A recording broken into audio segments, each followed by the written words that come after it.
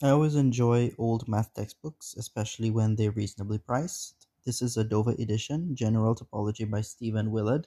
It was published in 1970, and this is a proper point set topology book because, as you can see, it has all the usual topics topological spaces, convergence, compactness, separation, and it goes into metrizable spaces, connectedness, uniform spaces, function spaces, and it has a little bit of the beginnings of algebraic topology the homotopy relation, and the fundamental group. It doesn't go into any other algebraic topology concepts because, as I said, it is a point set topology book.